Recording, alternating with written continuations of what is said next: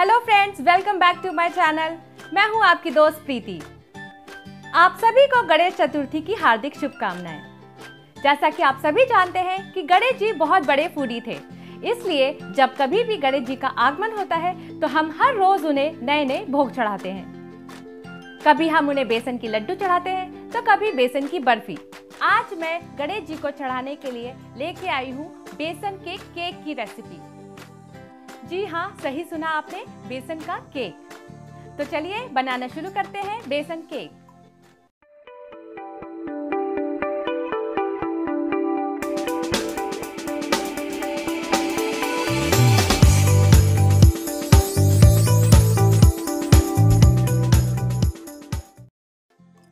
हमें इसके लिए चाहिए आधा कप कंडेंस्ड मिल्क अगर आपके पास कंडेंस्ड मिल्क नहीं है तो आप आधा कप दही ले सकते हैं।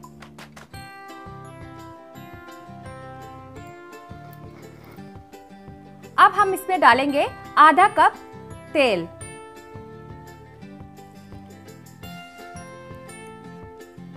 तेल और कंडेंस मिल्क को हमें अच्छी तरीके से मिक्स करना है।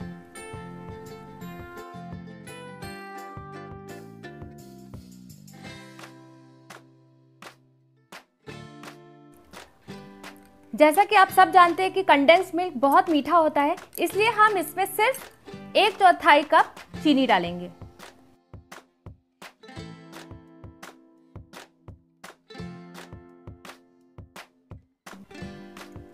अब हम इसमें थोड़ा थोड़ा करके एक कप बेसन डालेंगे।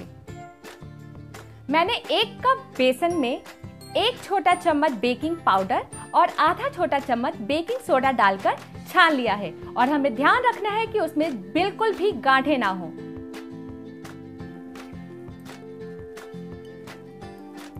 बैटर ज़्यादा गाढ़ा लगने पर हम इसमें थोड़ा सा पानी डाल सकते हैं। अब इस स्टेज पर मैं इसमें डालूँगी दो बड़े चम्मच मिल्क पाउडर इससे इसका फ्लेवर और भी बढ़िया आएगा।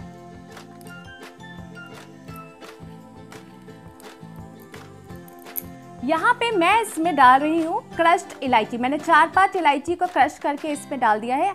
आप चाहे तो इसमें वेनिला एसेंस या कोई और एसेंस का भी इस्तेमाल कर सकते हैं।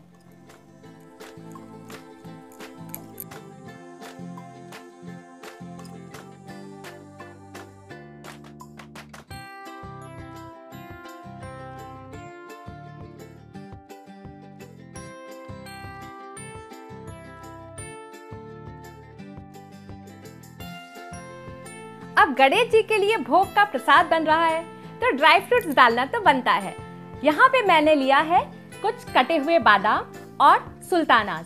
आप चाहे तो अपनी पसंद का कोई भी ड्राई फ्रूट्स इसके ऊपर डाल सकते हैं।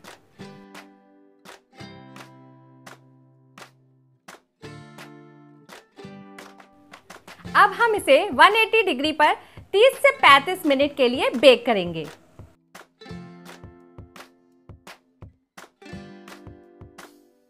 बहुत ही टेस्टी बेसन केक बनकर तैयार हो चुका है।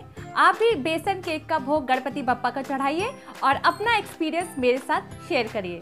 अगर अभी तक आपने मेरा ये चैनल सब्सक्राइब नहीं किया है तो प्लीज़ जल्दी से इसे लाइक कमेंट और सब्सक्राइब करिए और बेल आइकन प्रेस करना ना भूलें ताकि मैं कभी भी कोई भी नया वीडियो अपलोड करती हूँ तो उसका नोटिफिकेशन सबसे पहले आपको जाए। Till then bye bye